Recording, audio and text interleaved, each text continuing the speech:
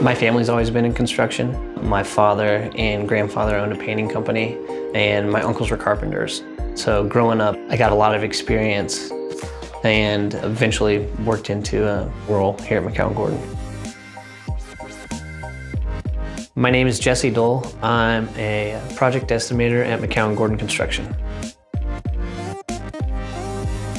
So we get anywhere from 50 to 100 bids on a project, uh, depending on the project's complexities. The tools we use allow us to take that information, digest it, and then speak to all different types of clients. Our database management system allows us to show our clients where their money is being spent. And if it's not spent in the right buckets, then it allows us to give them a roadmap to get the project back on track. Sorting and exporting into spreadsheets is critical to what we do. So Excel allows us to take that detailed information and transform it into graphs or pie charts to best explain it to an owner. When it's visual, they can see it and understand it quicker and understand the detail within it.